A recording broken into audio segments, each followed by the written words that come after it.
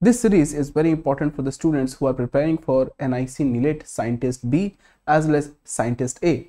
We are covering all the previous year questions from 2016 to 2022. So all the last seven year questions we have already covered. We are, we are covering all these questions in this series. And if you like the session, please subscribe to the channel and share with your friends. And at the same time, please install our Android app from the Google Play Store. And you can also use our contact numbers that is 9821876104. Now, let's start. तो चलो start करते हैं। तो questions हैं। आप यहाँ से देख रहे हैं, सारे जो क्वेश्चंस हैं, ये डेटा स्ट्रक्चर्स के हैं। हमने सी प्रोग्रामिंग अब तक कवर कर चुके हैं। हम एल्गोरिथम्स के क्वेश्चंस को हम लोग कवर कर चुके हैं। हम यहाँ से इस समय पर जो नया सब्जेक्ट हमारे पास स्टार्ट हुआ है that is algorithms sir data structures तो हम लोग यहाँ पर डेटा स्ट्रक्चर्स के क्वेश्चन को यहाँ से स्टार्ट करेंगे। ठीक है?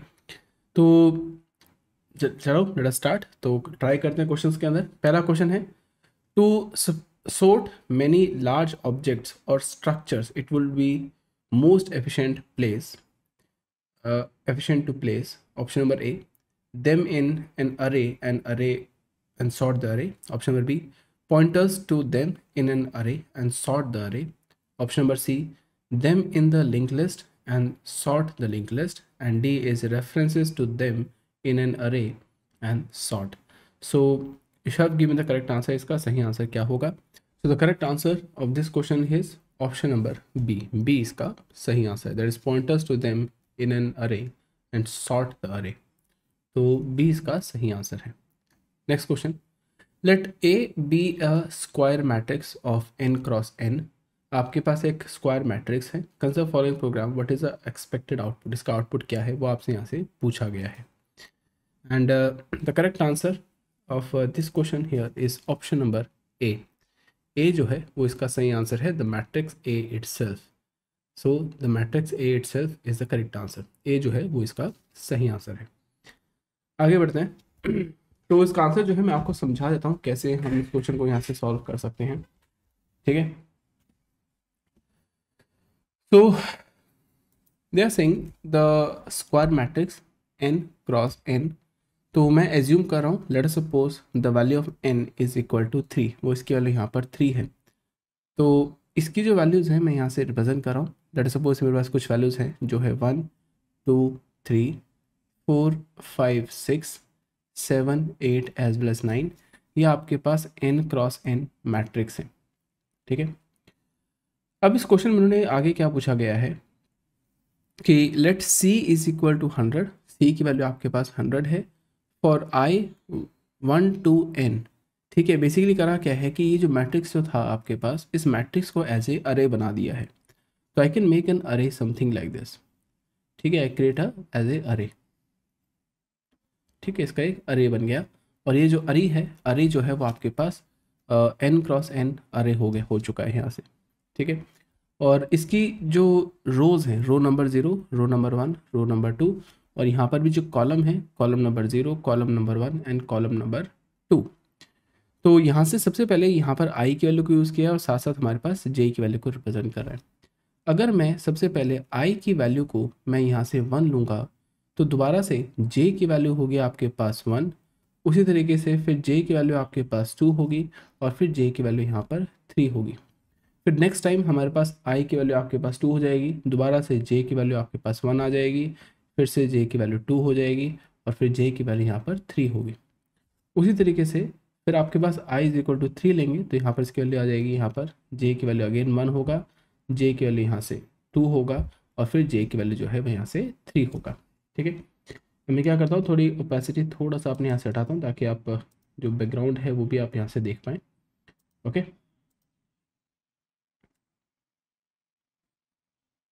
I think you should be able to see the question ठीक है?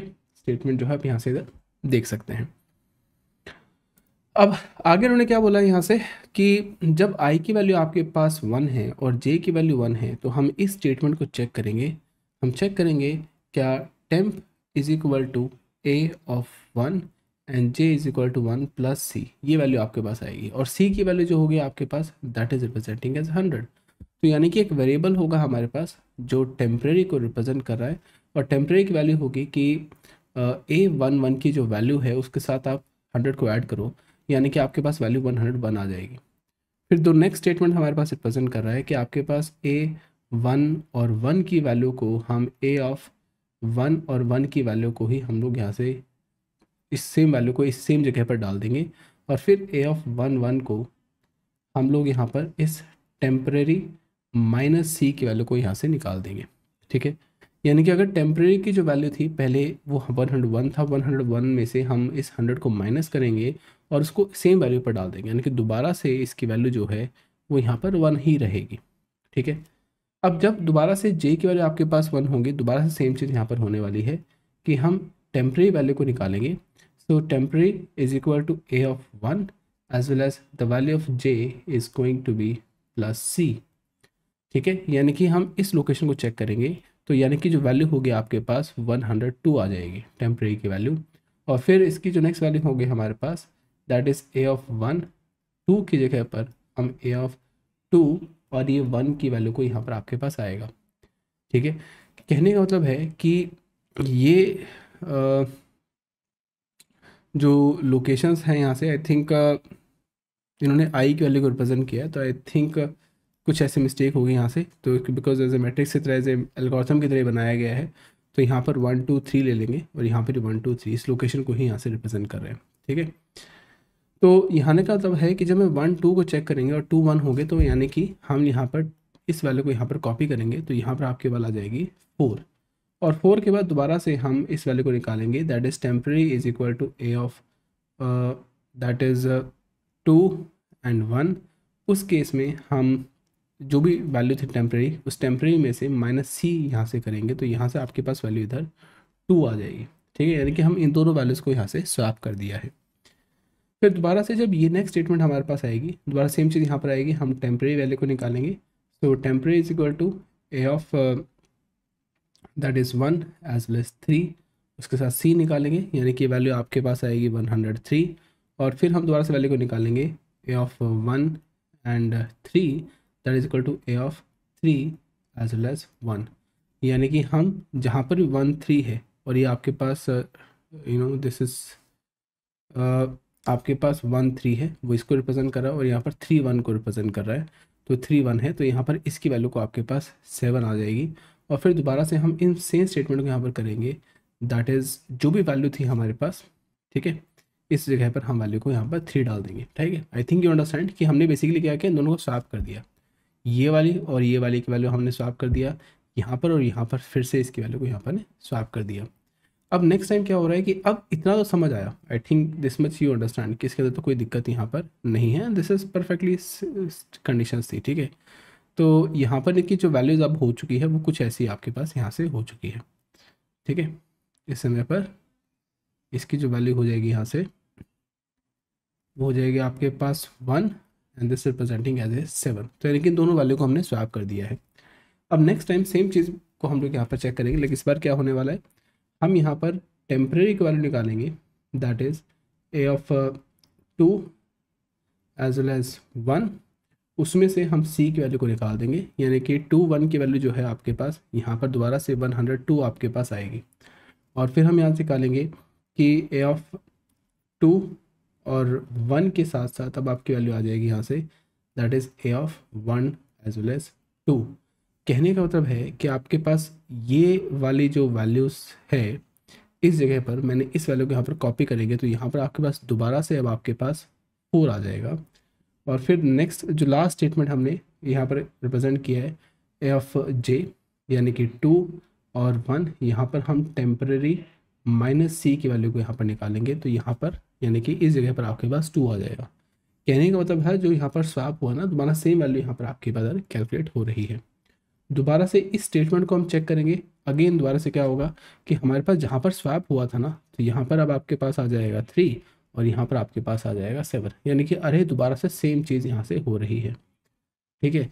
और वही सेम चीज़ अगर आप यहाँ पर भी चेक करने की कोशिश करेंगे तो यहाँ पर भी सेम चीज़ हो रही है कि यहाँ पर जो भी आपकी वैल्यूज़ थी ठीक है, हम पहले इसको स्वैप किया फिर दोबारा सेम वैल्यू को यहाँ पर लेकर आ रहे हैं। तो बेसिकली कुछ we are not doing anything new कोई नई चीज़ यहाँ से नहीं कर रहे हैं। तो इस पूरे प्रोग्राम को देखने के बाद भी हमारे पास जो मैट्रिक्स है, वो सेम वैल्यू ही यहाँ पर आएगी तो ए जो है वो इसका सही आंसर होगा, ठीक है? अब इसकी प्रॉब्लम क्या थी? हम इस प्रॉब्लम को कैसे इम्प्रूव कर सकते हैं? ठीक है प्रॉब्लम तो समझ आएगी प्रॉब्लम है और उसका आंसर भी हमने दे दिया। लेकिन इसको हम कैसे इम्प्रूव कर सकते हैं? एक्चुअली थिंग इज़ कि हम जो चीज़ यहाँ से कर रहे हैं, जैसे अगर आपके पास वन और वन है, हम सेम वैल्यू को दोबारा से कैलकुलेशंस कर रहे हैं यहाँ से। तो सम हाउ हमें इनकी वैल्यू को कुछ ऐसा चेंज करना पड़ेगा कि आपकी जो कैलकुलेशन पहले हो चुकी है, दोबारा से उसको करने की ज़रूरत नहीं है। Then will be able to correct it ठीक है? और जो आप इसको खुद से भी आप यहाँ से ट्राई भी कर सकते हैं। इफ़ नीड एन एक्सप्लेनेशन तो आप मुझे बता सकते हैं। चलो। नेक्स्ट क्वेश्चन तो this a question from NIELIT 2017 July scientist B तो वो इसका सही आंसर है. So the Kadane's algorithm is use to find which of the following option number A is maximum subsequence in an array option number B matrix maximum sum subarray in an array. C is matrix product subsequence in an array. And d is matrix product sub array in an array. तो इसका सही आंसर यहाँ पर क्या है? Yes the correct answer here is going to be option number B B इसका सही आंसर है. It is maximum sum subarray in an array तो बी इसका सही आंसर है. एब्सोल्युटली राइट बिल्कुल सही है. Good next so give the answer next question here so thing a program P reads five hundred in an array आपके पास 500 hundred integers है, जिसको एक रेंज में हमने इसको रीड किया है। Representing the scores of 500 students it prints the frequency of each score above 50 what would be the best way P to store the frequency तो उसके लिए बेटर आप यहाँ से कर सकते हैं। तो कहने मतलब है उन्होंने क्या पूछा गया इस क्वेश्चन में? एंड यस ए जो है वो इसका सही आंसर है। पहले प्रॉब्लम को समझते प्रॉब्लम है क्या? They are saying a program reads 500 integers in the range from zero to hundred यानी कि हमारे पास कुछ इंटीजर्स हैं, ठीक है? जिसमें आपको टोटल हंड्रेड इंटीजर्स हैं, जैसे integer number zero integer number two integer three and two so on यहाँ पर आपके पास फोर नाइन्टी नाइन यानी कि टोटल आपके पास टोटल 500 इंटीजर्स है और हर इंटीजर्स की वैल्यू को मैं एज ए अरे की तरह रिप्रेजेंट कर रहा हूँ।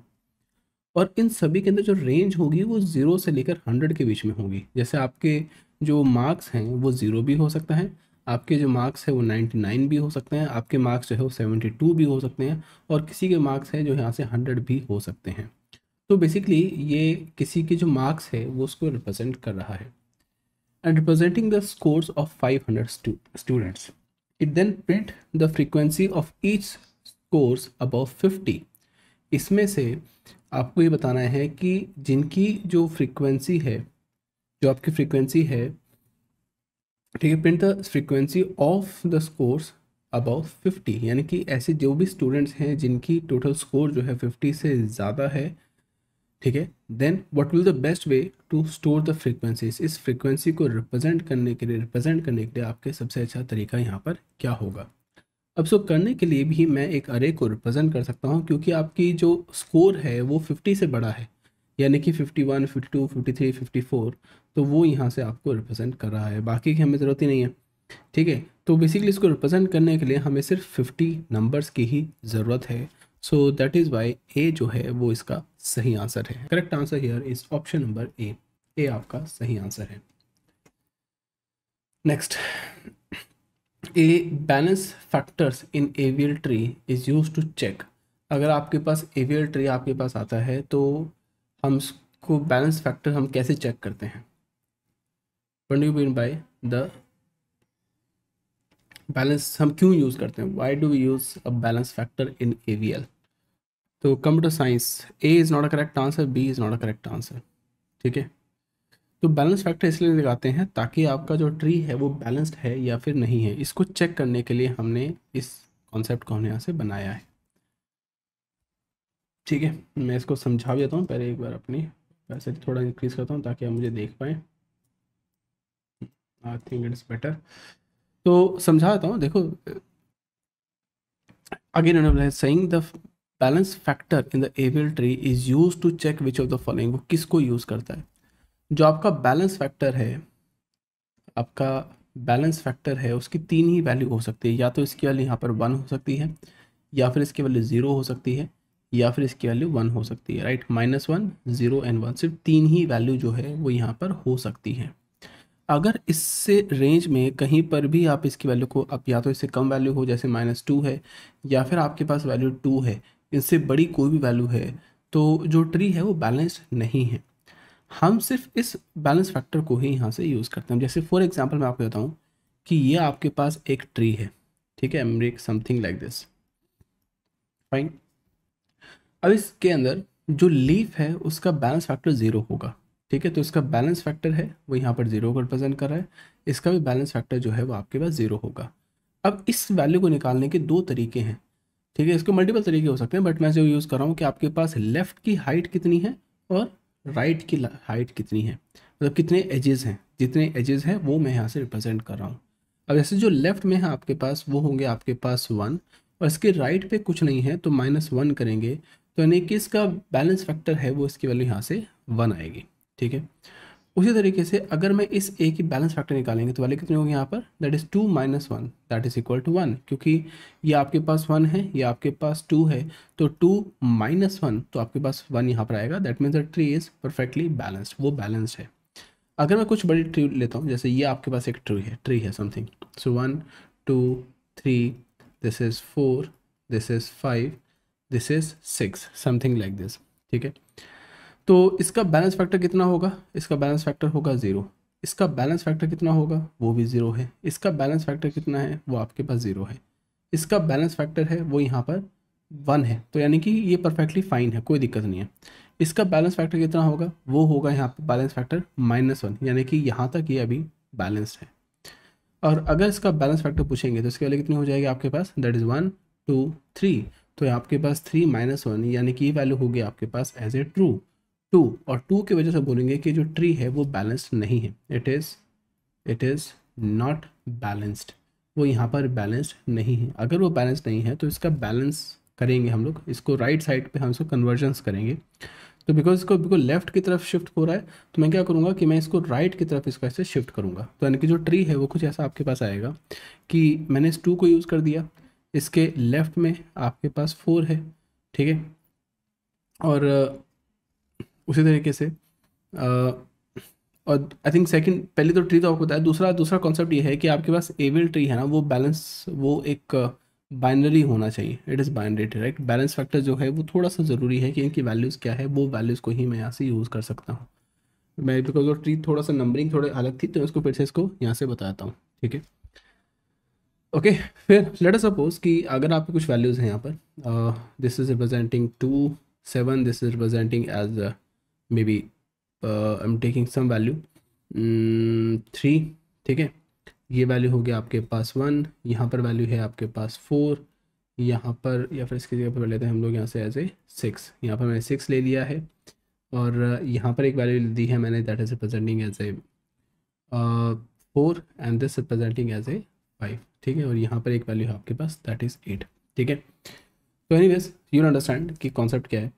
तो उसका बैलेंस फैक्टर कितना होगा? दैट विल बी ज़ीरो इसका बैलेंस फैक्टर कितना है? वो भी आपके पास ज़ीरो है। इसका बैलेंस फैक्टर कितना है? वो भी आपके पास ज़ीरो है। ठीक है? अब इसका बैलेंस फैक्टर होगा यहाँ पर दैट इज़ माइनस वन इसका बैलेंस फैक्टर होगा, वो होगा यहाँ पर माइनस टू तो यानी कि यहाँ पर ही आप चेक कर सकते हो कि इट इज़ नॉट बैलेंस्ड वो यहाँ पर बैलेंस्ड नहीं है। यहाँ पर भी इसका बैलेंस फैक्टर निकालेंगे तो यहाँ से माइनस टू को ही रिप्रेजेंट करा, यानी कि इट इज़ नॉट बैलेंस्ड वो यहाँ पर बैलेंस नहीं है। इवन अगर आप इसका बैलेंस फैक्टर निकालेंगे तो कितनी होगी? वन टू थ्री फोर तो आपके पास फोर माइनस वन ये नहीं कि वो आपके पास थ्री होगी यानी कि इट इज़ नॉट बैलेंस वो बैलेंस्ड नहीं है। तो हमें नीचे से ऊपर की तरफ़ जाएँगे और फिर इसको बैलेंस करेंगे, ठीक है? कन्वर्जन्स आई थिंक आपको पहले से कभी देखा भी होगा, अपना आई एम नॉट श्योर अब तो क्लास उस टॉपिक का नहीं है बट फिर मैं आपको समझा रहा हूँ यहाँ से। तो सबसे पहले हम लोग क्या करेंगे कि हम इस पार्ट को ले लेंगे, जहाँ से ही आपको लगता है कि ये बैलेंस नहीं है तो यहाँ पर बैलेंस कर लो। ठीक है, इसको बैलेंस करेंगे तो यहाँ पर एक कन्वर्जेंस यहाँ पर आएगा तो कुछ इस, इधर आ जाएगा कि आपके पास कि यहाँ से we can convert five here यहाँ पर हम लोग लेंगे एज ए फोर और ये हो जाएगा आपके पास six now this this part will be balanced इतना पार्ट जो है वो बैलेंस्ड है। तो बाकी सबका बैलेंस फैक्टर जो है वो यहाँ से दोबारा से निकाल लेंगे। अब जैसे इसका बैलेंस फैक्टर होगा ज़ीरो इसका बैलेंस फैक्टर होगा ज़ीरो इसका बैलेंस फैक्टर होगा वो भी यहाँ पर ज़ीरो होगा, इसका बैलेंस फैक्टर होगा यहाँ पर माइनस वन तो बैलेंस्ड मतलब कोई दिक्कत नहीं है। यहाँ पर इसका बैलेंस फैक्टर होगा that is minus two now अगर आप चेक करेंगे नाव इट इज़ सिर्फ़ इस वाले केस में ये बैलेंस्ड नहीं है। अगर ऐसा नहीं है तो हम इसको राइट right साइड की तरफ़ हम इसको शिफ्ट करा देंगे। ठीक है? एक एलिमेंट को ले लेंगे। ठीक है, जैसे फॉर एग्ज़ाम्पल इसमें से I think take value as five मैं यहाँ से फाइव कर लूँगा राइट की तरफ़ कन्वर्ट कर दूँगा इसको, ठीक है? And then you will be able to convert it right बहुत इजीली कन्वर्जन यहाँ से कर सकते हैं। जैसे अगर मैं यहाँ से फाइव लेकर आऊँगा इधर राइट साइड की तरफ़ पे तो इसके लेफ़्ट की एक वैल्यू लेंगे यहाँ पर थ्री इधर निकल जाएगा आपके पास वन यहाँ पर आपके पास आ जाएगी फोर और इस तरफ़ हम एक वैल्यू को ले लेंगे that is we can find value as seven ये वैल्यू हो गया आपके पास six and this is representing as eight now this tree is going to be balanced right balance आप यहाँ से कर सकते हो। कहने का मतलब क्या है कि जो एवल ट्री हम इसलिए बनाते हैं, इसका जो बैलेंस फैक्टर इसलिए चेक करते हैं, इस बैलेंस फैक्टर से कि जो ट्री है वो बैलेंस है या फिर नहीं है। तो उसका सही आंसर होगा ऑप्शन नंबर डी तो डी इसका सही आंसर क्वेश्चन बस यही पूछा गया है कि बैलेंस फैक्टर क्यों यूज़ करते हैं। तो क्यों यूज़ करते हैं? इसी वजह से D is the correct answer D इसका सही आंसर होगा। आई होप यू अंडरस्टैंड ये आपको समझ में आया होगा। Okay so by the way the correct answer of this question is option number D चलो। So give me the answer next question here we have a binary heap on n elements and wish to insert n more elements आपके पास एक N elements है और आपको N elements को और insert करना है। और ये किसके अंदर करना है? हमें बाइनरी हीप के अंदर। Necessarily one after another into the heap but the total time required to this तो आपके पास कितना टाइम यहाँ से लगेगा? टाइम कॉम्प्लेक्सली यहाँ से क्या है? और ये वाला जो क्वेश्चन है, वो N I C NIELIT two thousand sixteen में आया था और सेम क्वेश्चन जो है, वो गेट टू थाउज़ेंड एट में भी यही सेम क्वेश्चन पहले रिपीटिशन हो चुकी है। The correct answer here is going to be option number B B आपका आंसर जो है, वो बिल्कुल सही है। बस इसके टाइम कॉम्प्लेक्स के बारे में पूछा गया है कि कैसे हम इसको यहाँ से देख सकते हैं। ठीक है दिस हेड आपके पास बाइनरी हीप है, जिसके अंदर एन एलिमेंट्स हैं। एक हीप के अंदर टोटल आपके पास एन एलिमेंट्स हैं और आपको एन और एलिमेंट को यहाँ से इंसर्ट करना है।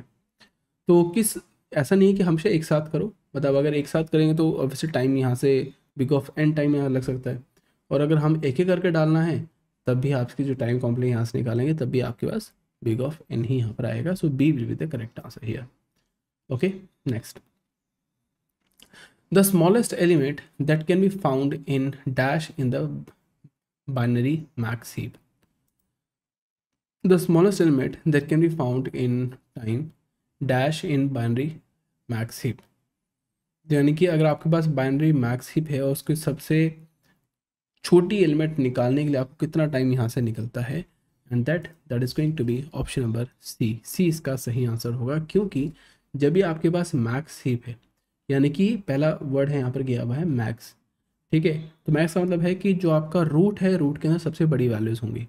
लेकिन जो सबसे लीफ है लीफ की वैल्यूज़ जो है वो सबसे छोटी वैल्यू होंगी लेकिन वो लीफ में कहाँ पर है वो हमें दे, देखना पड़ेगा।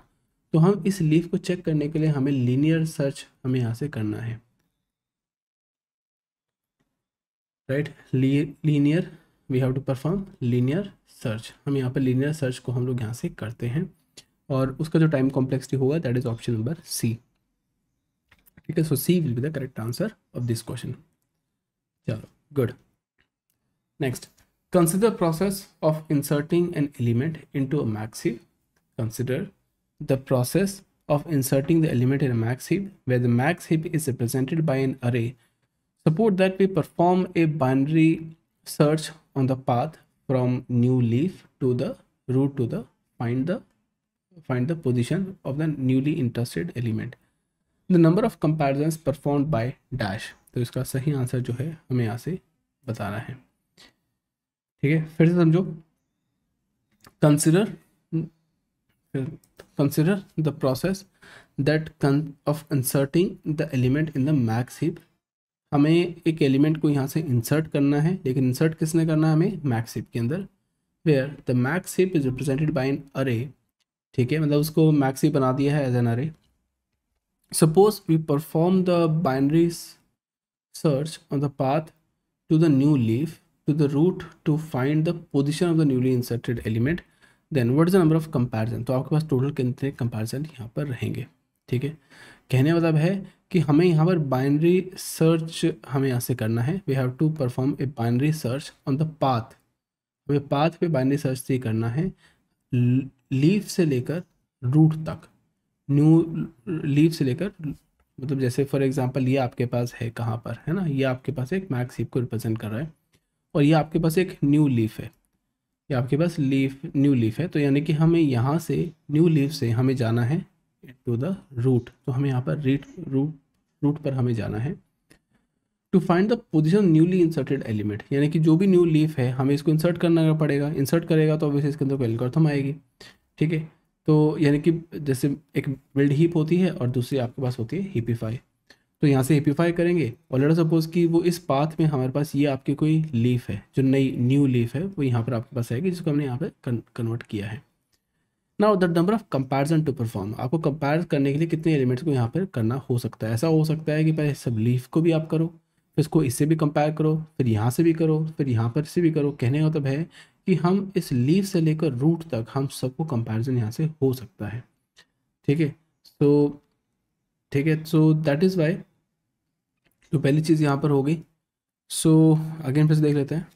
We perform the binary you have to perform binary search हमें यहाँ पर बाइनरी सर्च करना है on the path from the new leaf from the new leaf to find to the root to find the position of the, for newly inserted element. ठीक है? तो कहने का मतलब है कि जो ट्री आपके पास है ना, अगर आप इसको करेंगे तो दो चीज़ें ज़रूरी होगी आपके पास। सबसे पहले, यहाँ पर ना, यहाँ से लेकर यहाँ तक, हमें इस पाथ पे भी हमें चेक करना है। तो इसकी हाइट कितनी होगी? So this height is going to be log n log n यहाँ पर होगा। और लॉग इन के बाद फिर हमें इन सभी एलिमेंट को यहाँ से कंपेरिजन करना पड़ेगा। We have to convert this we have to यहाँ पर कन्वर्जन होगा। कंपैरिजन यहाँ पर होगा सॉरी यहाँ पर एक कंपैरिजन होगा, यहाँ पर भी कंपैरिजन होगा और यहाँ पर भी कंपैरिजन होगा। तो यानी कि हर एक एलिमेंट को कंपैरिजन होगा। ठीक है? और कुछ वैल्यू ट्राई कर लेते हैं। कुछ वैल्यू इमेजिन कर लेते हैं कि इसका आंसर यहाँ पर क्या होगा। तो आई थिंक वैसे तो डी इसका सही आंसर नहीं है। और ए भी इसका आंसर सही नहीं है बट फिर भी एक कंपैरिजन ले लेते हैं, कुछ ट्राई कर लेते हैं। तो लेट सपोज़ कि आपके पास एक मैक्स है तो मैक्स हीप भी कुछ वैल्यूज़ होंगे यहाँ पर। वो आपके पास हंड्रेड है, या आपके पास एट्टी है, या आपके पास नाइन्टी है, यहाँ पर फिफ्टी है, यहाँ पर फोर्टी है, यहाँ पर सेवेंटी है, और यहाँ पर आपके पास टोटल सिक्सटी है। ठीक है? लेट सपोज़ हम एक न्यू एलिमेंट को इंसर्ट करते हैं। Let us suppose let new node को हमें यहाँ से ऐड करना है और उसकी जो वैल्यू है हमारे पास, वो मैंने 250 को यहाँ से कर दिया है। तो यानी कि 250 सबसे पहले यहाँ पर आपके पास आएगा। अब वो क्या करेगा कि सबसे पहले इसको और इसके साथ कंपैरिजन होगा। द फ़र्स्ट कंपैरिजन होगा तो यहाँ से आपके पास 50 आ जाएगा, यहाँ पर 250 आएगा। यानी कि पहला कंपैरिजन ठीक है? फिर उसके बाद हम इसको और इसको कंपेयर करेंगे तो यहाँ पर 80 आएगा और यहाँ पर 250 आएगा। दूसरा कंपैरिजन होगा। फिर उसका दोबारा से हमारे पास 250 यहाँ पर आएगा और 100 यहाँ पर आपके पास आएगा। तो आपके जो ट्री है, इसकी हाइट में हमें यहाँ से एक कंपेरिजन यहाँ पर करना पड़ेगा। ठीक है? फाइन तो ये पूरा पैथ जो है हमने यहाँ से यूज़ किया है। ओके तो अगर मैं आपसे पूछता हूँ what is the number of comparisons कितने कंपैरिजन हो गए ऑब्वियसली जितने इसकी ट्रे की हाइट है। तो हाइट है, अगर मैं इसको यहाँ से चेक करूँगा, ठीक है? तो आपके पास टोटल एच है, ठीक है? टोटल हाइट इसकी हाइट इसकी टोटल एच है। तो तो इन्होंने बेसिकली क्या किया है कि हमने इसको ले लिया, ठीक है? ये तो हमने क्या किया? हमने सबसे पहले यहाँ पर कितने कंपैरिजन हमने यहाँ पर करे? नंबर ऑफ़ कंपैरिजंस कितने करे हमने यहाँ से टोटल तो नंबर ऑफ़ कंपैरिजन होंगे यहाँ पर टोटल आपके पास इक्वल टू हाइट जितनी हाइट है, उतने कंपैरिजन यहाँ पर आएँगे, जो कि यहाँ पर लॉग एन यहाँ पर इधर आपके पास आएगा। अब इस क्वेश्चन का दूसरा पार्ट है यहाँ से। ठीक है, इतना चीज़ समझ आया। अब उन्होंने बोला है सपोज़ इस स्टेटमेंट को मैंने पूरी स्टेटमेंट एक्चुअली पढ़ा नहीं था। तो suppose we perform a binary search हमने यहाँ पर बाइनरी सर्च किया है। ये इंपॉर्टेंट पार्ट है। कि हमने बाइनरी सर्च किया on the path from the leaf हमारे जो पाथ है, उस पर हमने बाइनरी सर्च ट्री हमने यहाँ से किया है। यानी कि हमें इतने कंपैरिजन तो हम लोग करते ही हैं। लेकिन अब उसने क्या किया? इंस्टेड ऑफ़ टेकिंग दिस ऐसा करने की जगह पर उसने एक इंपॉर्टेंट चीज़ ने यहाँ पर कर दी है, एक नई चीज़ ने ट्राई करी है उसने। कि उसने सिंपल चीज़ क्या करी है कि ये जो पाथ है, इस पाथ पे आप यहाँ से बाइनरी सर्च ट्री कर लो। बाइनरी सर्च ट्री कर लो यहाँ से। ठीक है, आपके पास बाइनरी सर्च ट्री आपने यहाँ से बना दिया कि जो इसका पाथ है। ठीक है, जैसे फॉर एग्जांपल यहाँ पर इसकी जो हाइट जो थी हमारे पास, वो आपके पास एच थी। तो हाइट एच में हमें इसके अंदर एक बाइनरी सर्च की है तो बाइनरी सर्च ट्री करने के लिए हमें इसका लोगार्थमिक लेना पड़ेगा। ठीक है तो यानी कि आपके पास होएगा लोगार्थमिक ऑफ़ एच आपके पास लोगार्थमिक ऑफ़ एच यहाँ पर आपके पास आएगा। यानी कि लोगार्थमिक ऑफ़ एच का मतलब है that is logarithmic of logarithmic of n ये वैल्यू हमने इधर वैल्यू निकलेगी। ठीक है, कहने का मतलब है I think you understand I am trying to say कहने का मतलब क्या था? कि ये जो स्टेटमेंट है ना, मैं स्टेटमेंट को ही मैंने नहीं पढ़ा था। ठीक है स्टेटमेंट क्या था? We perform binary search on the path to the leaf to find the root to find the position of need interested यानी कि सबसे पहले पहले तो इसकी लोकेशन ढूंढ लो। ठीक है, आपको इसकी लोकेशन ढूंढ ली। ठीक है अब लोकेशन ढूँढने के लिए मैंने बाइनरी सर्च ट्री कर दी, ठीक है? यानी कि लोगार्थमिक ऑफ़ एच कर दिया। तो यानी कि टोटल इतना टाइम लगेगा ताकि आपकी लोकेशन क्या है।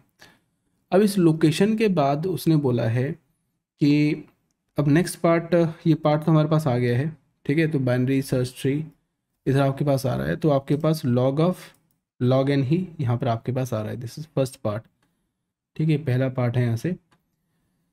अब उसके बाद उसने एक और चीज़ यहाँ से बोली है। तो I think the answer should be log n log n तो यहाँ पर बी बी यहाँ पर एक्चुअली सही नहीं है।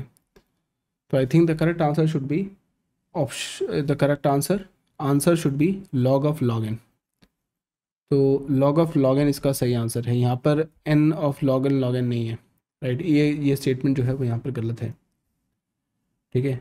So the correct answer here should be option number कोई भी नहीं है the correct answer is that is log of log n लेकिन अगर हर एन एलिमेंट पे कर रहे हैं, ठीक है फॉर एवरी एलिमेंट अगर एन एलिमेंट के साथ दोबारा आपको करना है तो आपके पास एन इंटू लॉग एन यहाँ पर आपके पास आएगा। ठीक है, अगर यहाँ पूछा suppose that binary system the path to the leaf इतना आ गया। To newly the number of comparison performed तो नंबर ऑफ़ कंपेरिजन ही यहाँ से बताई है। तो देर आस्किंग कि नंबर ऑफ़ कंपेरिजन कितने हैं? तो answer should be log n log n ठीक है? तो लॉग एन लॉग एन इसका आंसर है। ठीक है? सो हियर ये भी सही नहीं है, ये भी सही नहीं है, ये भी नहीं है और ये भी नहीं है। The correct answer the correct answer is log of log n ये इसका आंसर होगा। क्योंकि हमें बस ये बताना what the number of comparison कितने कंपेरिजन होंगे इस केस में? And that is going to be log of log n ठीक है? तो कोई भी आंसर यहाँ पर सही नहीं है। Okay okay? समझ आया? कुछ डाउट है तो पूछ सकते हैं यहाँ से। If you any doubt please feel free to ask so you are given the post order traversals P is a binary uh, search tree of n elements that is 1 to n you have to determine the unique binary search tree that has P as the post traversal जो है वो यहाँ से given है what is the time complexity of the most efficient algorithm to do this so इसका answer जो है मुझे चार्ट मुझे बताना है हर एक क्वेश्चन को सॉल्व करने के लिए आपको दो से तीन मिनट का टाइम यहाँ से दूँगा ठीक है so you are given the post order traversals P आपके पास post traverse post order traversal जो है, वो यहाँ पर गिवन है। और आपका binary tree with n elements एक बाइनरी ट्री है जिसके अंदर एन एलिमेंट्स हैं वन से लेकर एन तक। And you have to determine the unique binary tree that has P as a its post order traversal आपको इसका पोस्ट ऑर्डर ट्रैवर्सल यहाँ से देना है। आपको इसकी टाइम कॉम्प्लेक्सिटी बतानी है। इसकी जो भी एल्गोरिथम हम यहाँ से यूज़ करते हैं। So the correct answer here of this question is option number n and that is B will be the correct answer of this question ठीक है? मतलब ऐसा नहीं कि मुझे इन डेप्थ यहाँ पर देखना पड़ेगा। देखिए, आपको कॉन्सेप्ट यहाँ से पता ही है कि आपका पोस्ट ऑर्डर ट्रैवर्सल यहाँ पर गिवन है और फॉर बाइनरी ट्री ठीक है, आपके पास टोटल एन एलिमेंट्स है। And you have to determine the unique binary tree आपके पास यूनिक बाइनरी ट्री अगर आपके पास गिवन है ठीक है फ्रॉम दिस पोस्ट ऑर्डर तो आपको इसको यूनिक बाइनरी आपको यहाँ से बनाना है राइट तो हमें दो चीज़ें की हमें पहले से गिवन है। पहले से हमें पता है कि आपके पास ये जो है, वो एक बाइनरी सर्च ट्री हमें यहाँ से बनाना है, ठीक है? तो हमें पता है कि जो भी एलिमेंट होगा, उसका लेफ़्ट का एलिमेंट हमेशा छोटा होगा और राइट जो है हमेशा इससे बड़ा होगा। तो पहली प्रॉपर्टी हमारे पास गिवन है। दूसरा हमारे पास पोस्ट ऑर्डर गिवन है। तो पोस्ट ऑर्डर से हमें पता चलेगा कि आपकी रूट कौन सी है। तो इन दोनों को बनाने के लिए हमें सिर्फ़ ट्रैवर्स करना होता है। और ट्रैवर्सल करने के लिए हमें बिग ऑफ़ एन टाइम ही लगेगा। So B will be the correct answer of this question ठीक है?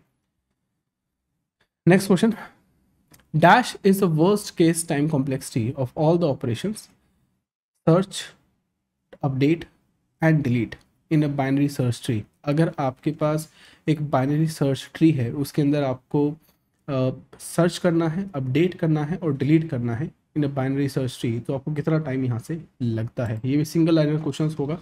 आई डोंट थिंक सो इतना डिफ़िकल्ट क्वेश्चन होगा। It's a very easy question right so the correct answer here is option number A A इसका सही answer होगा। देखो, दो important चीज़ें हैं जो आपको यहाँ से पता होना चाहिए। पहला, ये जो गिवन है हमारे पास, वो जनरल बाइनरी ट्री है।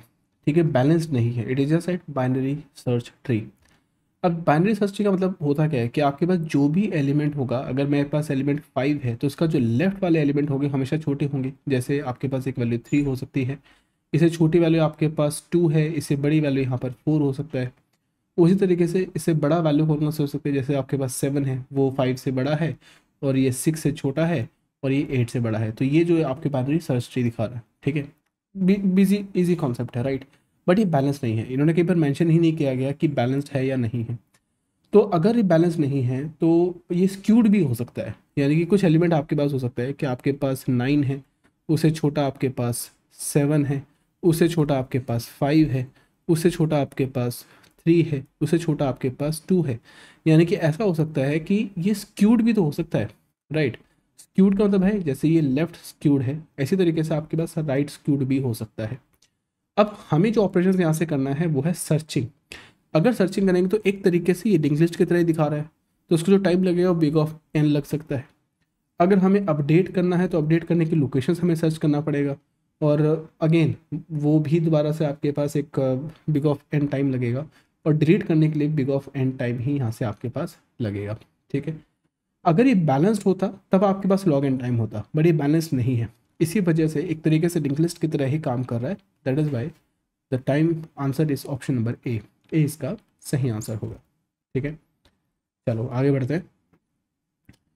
सो गिवन आंसर इस question when you perform in order traversals on a binary tree we get ascending order tree अरे the tree is option number A heap tree option B almost complete binary tree option number C is binary search tree and option number D is cannot be determined. So what is the correct answer here in the chat? When we perform order traversals on a binary tree, अगर आपके पास binary tree given है और हमें उसका order traversals हमें यहाँ से निकालना है we can get the ascending array ascending order array ठीक है जो वो असेंडिंग ऑर्डर पे है तो द ट्री है वो किस तरीके से काम करेगा okay the correct answer here is option number C C इसका सही आंसर है. It is working as a binary search tree वो बाइनरी सर्च ट्री की तरह ही काम करेगा. ठीक है? तो इसी वजह से ऑलमोस्ट कंप्लीट बाइनरी ट्री नहीं है.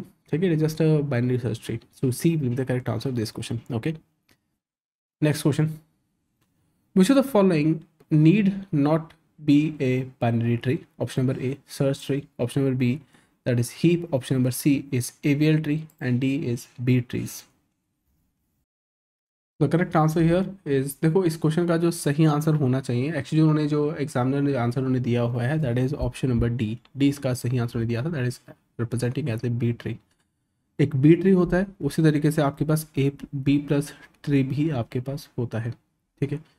पहला which the following not to be a binary tree ठीक है? स्टेटमेंट को समझा need need not to be a binary tree शायद वो शायद आपका बाइनरी ट्री शायद ना हो। ठीक है? तो आपके पास सर्च ट्री है तो बेसिकली वो बाइनरी होता है। हीप ट्री है, वो ऑलमोस्ट कंप्लीट बाइनरी ट्री ही है। ऑप्शन नंबर फिर आपके पास है एवियल ट्री तीनों ऑप्शन जो है, वो बिल्कुल सिमिलर है, क्योंकि तीनों केस पे हम इसको बाइनरी सर्च ट्री ही हम लोग यहाँ से बोलते हैं। लेकिन सबकी छोटी छोटी प्रॉपर्टी है। जैसे आपके पास बाइनरी सर्च ट्री वो भी बाइनरी ट्री है। हीप क्या है? वो भी ऑलमोस्ट कंप्लीट बाइनरी ट्री है।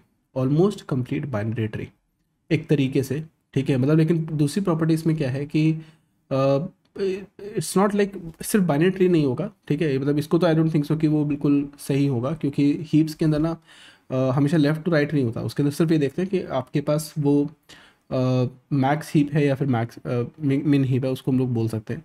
और फिर AVL tree AVL tree balanced है right it just like a balanced binary tree ही है हमारे पास। वो तो इस तरीके तरह ही है लेकिन जो नेक्स्ट है हमारे पास दैट इज़ बी यानी कि बी ट्री ठीक है? तो बी ट्री भी वही सेम प्रॉपर्टी ही है हमारे पास। I think the correct answer देखो उन्होंने वर्ड जो यहाँ पर पूछा है ना वो आपके पास बाइनरी ट्री है। एज ए बाइनरी ट्री यहाँ पर उन्होंने कभी भी उन्होंने ऑलमोस्ट कंप्लीट नहीं बोला है। ऑलमोस्ट कंप्लीट नहीं बोला है। uh, सिर्फ़ उन्हें बाइनरी ट्री बोला है। तो बाइनरी ट्री में आई थिंक सर्च ट्री भी हो सकता है। ठीक है? हीप जो है शायद ना हो। शायद ये ना हो। शायद नहीं हो। क्योंकि हीप में ना मैक्स हीप होगा। जैसे फॉर एग्जांपल इस ऑप्शन को आप चेक करो। कि ये जो रिप्रेजेंट कर रहा है वो आपके पास फोर है। उसे एक छोटा एक वैल्यू है आपके पास, जहाँ पर मैं ऐसे थ्री यहाँ से बोल सकता हूँ और इसकी वैल्यू भी मैं यहाँ से फोर ले सकता हूँ। दोनों की वैल्यू यहाँ पर सेम हो सकती है। ठीक है, उस तरीके से यहाँ पर एक वैल्यू आपके पास वन हो सकता है, यहाँ पर इसकी वैल्यू मे बी टू हो सकती है। यहाँ पर जो वैल्यू है, यहाँ पर थ्री हो सकती है, यहाँ पर भी आपके पास थ्री हो सकती है। अब ये जो दिखा रहा है, ये बाइनरी ट्री है।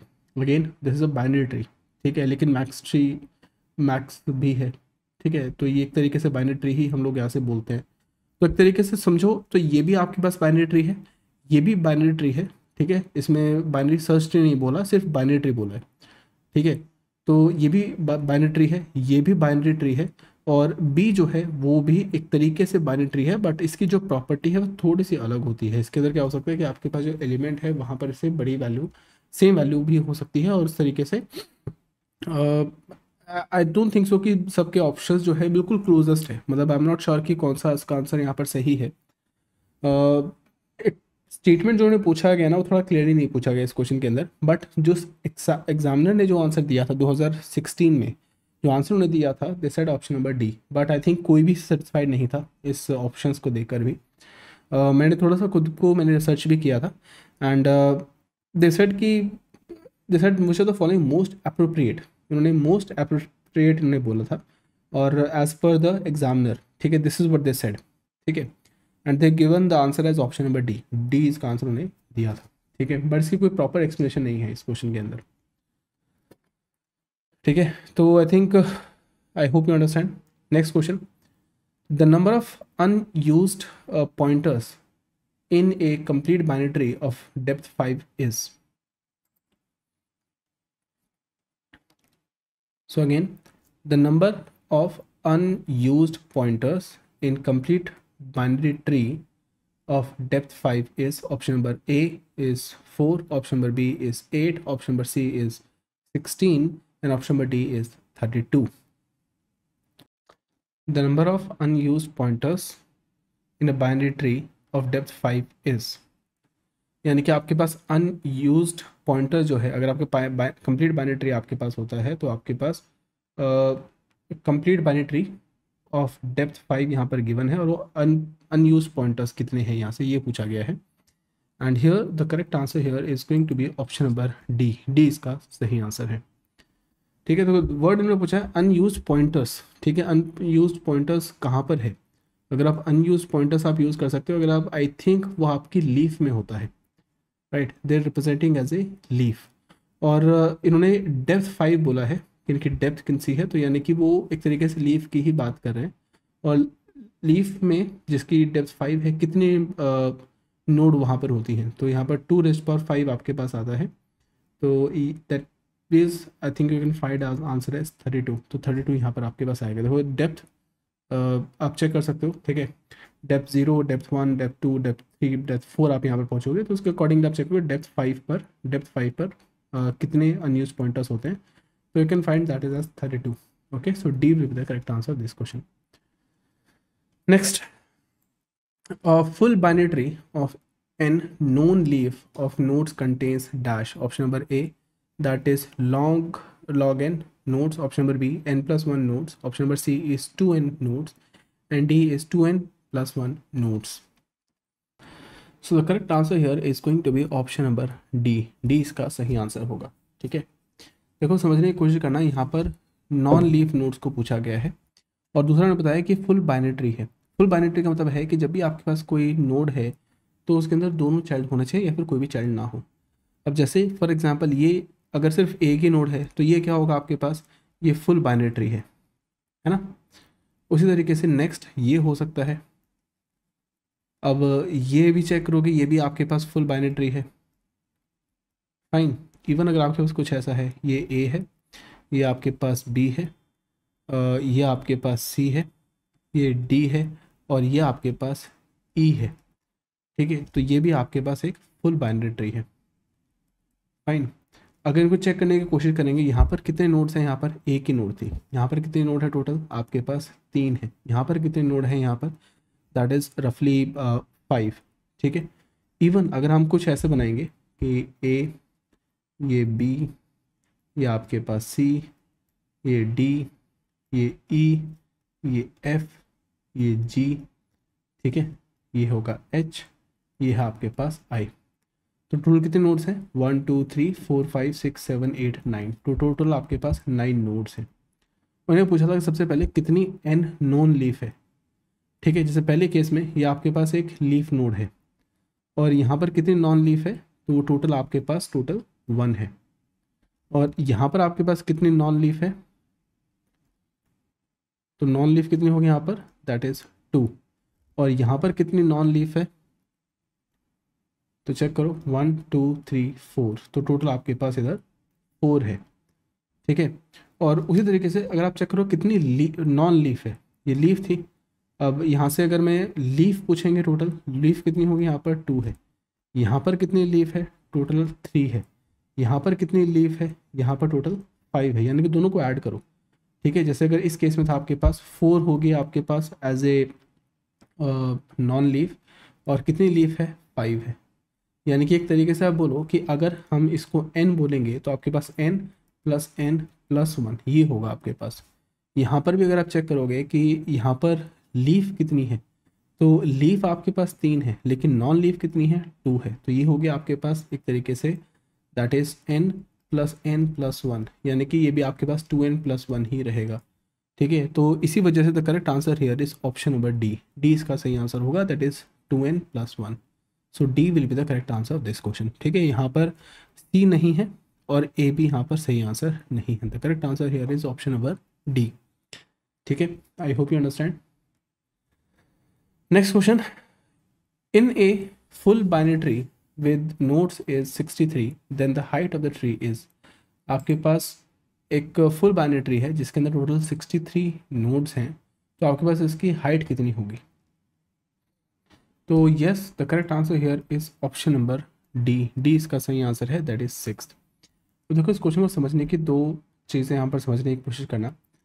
यहाँ पर जो डेफिनेशन है, वो यहाँ पर फुल बाइनरी ट्री है। अब फुल बाइनरी ट्री की जो डेफिनेशन है ना, वो फिक्स नहीं है, क्योंकि ये बुक टू बुक मैटर करता है। इस पूरे क्वेश्चन के अंदर उन्हें बताना चाहिए था कि फुल बाइनरी ट्री का मतलब क्या होता है।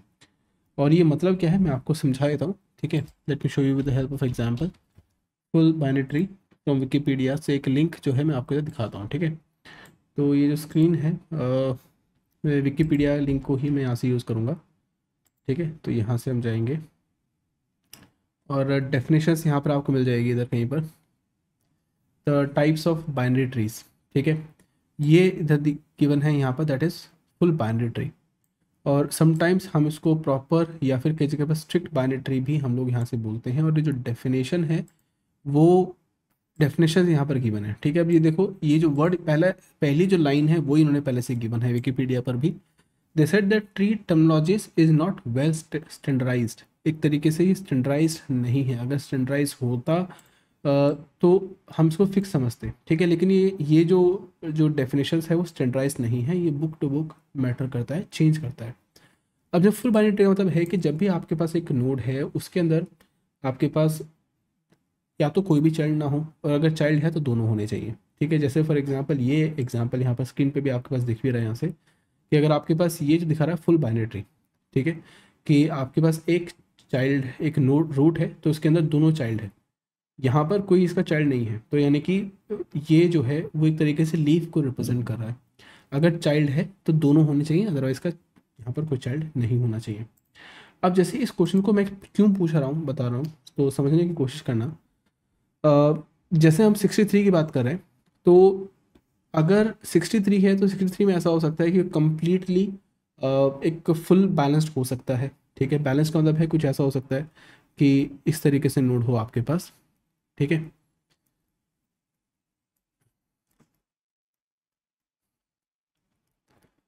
ठीक है इसको चेक करके मैं आपको दिखाता हूँ टोटल कितने हाइट यहाँ से निकलेगी।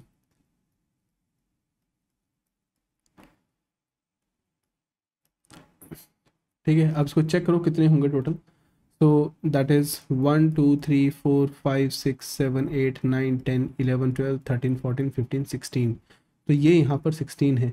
ये जो होंगे आपके पास, ये एट होंगे. इसको ऐड करोगे दैट विल बी फोर इसको ऐड करोगे दैट विल बी टू इसको ऐड करोगे so that will be one इन सबको ऐड करो, कितना होगा आपके पास? That is I think thirty one ठीक है, वो यहाँ पर थर्टी वन होंगे, क्योंकि यहाँ पर आप फाइव यहाँ पर रहेंगे. ठीक है? और अगर फिर से आप ऐड करेंगे तो आपके पास एक और एक और लेवल यहाँ से बना देंगे, यहाँ पर सबके अंदर भी।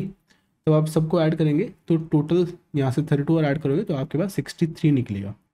ठीक है? तो ये जो इधर रिप्रेजेंट किया फुली बैलेंस्ड है। ये फुली बैलेंस्ड है। यानी कि एक तरीके से इट इज़ कंप्लीट ठीक है? You can say it is a complete tree ठीक है? इट इज़ कंप्लीट ट्री ठीक है? तब इसके अगर हाइट यहाँ से पूछोगे तो हाइट कितनी होगी? सो so, इन सब की हाइट कितनी होगी? ज़ीरो इसकी हाइट कितनी होगी? वन इनकी हाइट कितनी होगी? टू इनकी height three is four and this representing five वो यहाँ पर फाइव को दिखा रहा है जो कि एग्जैक्टली exactly इसके पास यहाँ पर दिखा रहा है ठीक है? अब दूसरा तरीका क्या हो सकता है कि कुछ ऐसा हो सकता है कि समथिंग लाइक दिस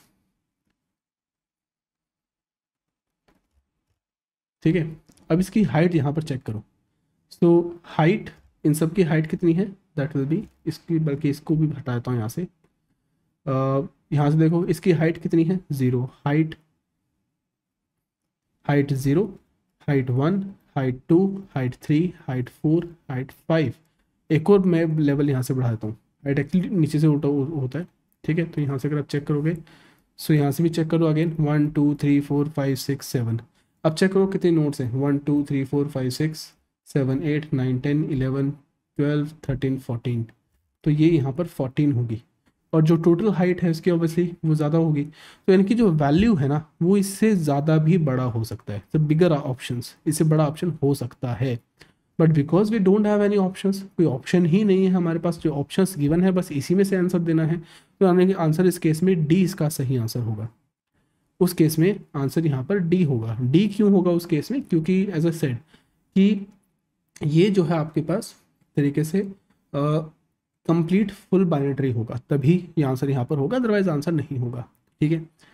तो here D will be the answer but again इन्होंने मैक्सिमम नहीं पूछा है।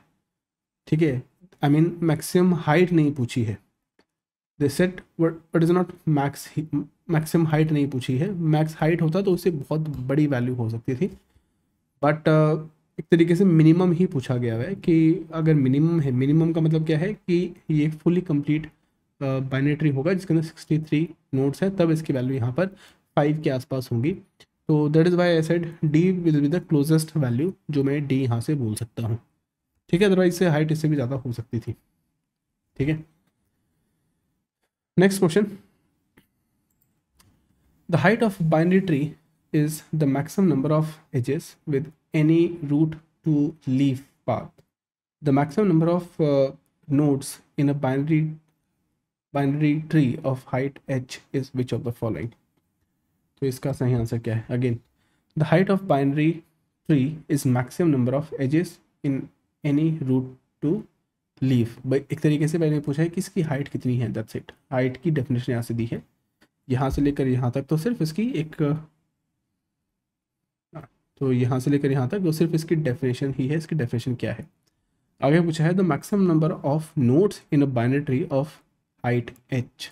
अगर आपके पास हाइट एच है तो टोटल कितनी नोट्स यहाँ पर होंगे? बस यही पूछा गया है कि बहुत बड़ी चीज़ें ईजी क्वेश्चन चीज़ें हैं। And here you can see the correct answer here is option number C C इसका सही आंसर होगा। ठीक है? So that is two raise power H plus one minus one जो भी थोड़े पहले क्वेश्चन देखा था, बिल्कुल वही यहाँ से पूछा गया है। ठीक है? तो आई होप यू अंडरस्टैंड ठीक है? तो as it as of now I think इतना ही आज करते हैं। तो given answer here the number of binary tree of uh, four nodes. तो ये लास्ट क्वेश्चन है for today the number of possible binary tree with N nodes अगर आपके पास टोटल एन नोट्स हैं तो आपके पास maximum binary tree but is maximum number of binary tree कितने बाइनरी ट्री यहाँ से पॉसिबल है? Answer here so the only calculation that you know is 2n factorial divide by n plus 1 factorial multiplied by N factorial ठीक है? ये जो number हमारे पास आती है, इसको बोलते हैं एज ए कैटलन नंबर्स ठीक है?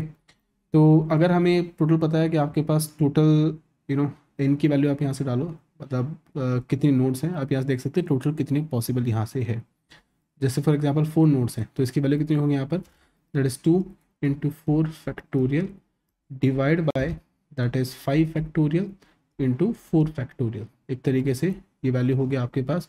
That is eight factorial divide by five factorial into four factorial so that is eight into seven into five four six into four fact sorry थोड़ा क्लियरली इसको बनाते हैं यहाँ से। दस वैल्यू को पुट करके। तो वैल्यू कुछ हो गया आपके पास। That is eight into seven into six into five factorial divide by five factorial into four into three into two ठीक है? तो ये वैल्यू यहाँ से कट जाएगी। ठीक है? तो यहाँ से चेक करो, ये आपके पास टू होगा। यहाँ से आप करेंगे, ये आपके पास वन हो जाएगा और इसे करेंगे आपके पास टू कुछ इधर आपके पास आएगा। ठीक है? तो दैट मीन्स टोटल वैल्यू आपके पास आएगी फोर्टीन तो टोटल आपके पास 14 ही निकलेगी। इसी वजह से सी इसका सही आंसर होगा। So C will be the correct answer this question ठीक है? I hope you understand anyways I hope like this session session आपको यहाँ से अच्छा लगा होगा समझ आया होगा करेंगे। और अब तक आपने इस चैनल को सब्सक्राइब नहीं किया तो please subscribe it share with your friends also और हमारी जो ऐप है डिजीमेंटो एजुकेशन आप गूगल प्ले स्टोर से हमारे कॉम्प्रिहेंसिव कोर्सेज आप यहाँ से देख भी सकते हैं। जैसे पीजीडी कंप्यूटर साइंस की वैकेंसीज आ, आ चुकी है इस समय पर तो उसको देखने के लिए भी हमारी एंड्रॉयड ऐप को ही आप यहाँ से यूज़ कर सकते हैं। तो I hope you like the session next session में मिलते हैं। Take care bye bye okay have good time bye bye to all of you This series is very important for the students who are preparing for NIC NILET Scientist B as well as Scientist A.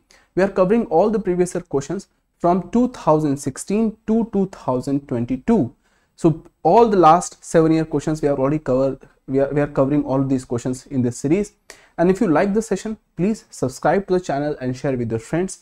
And at the same time please install our android app from the google play store. And you can also use our contact numbers that is 9821876104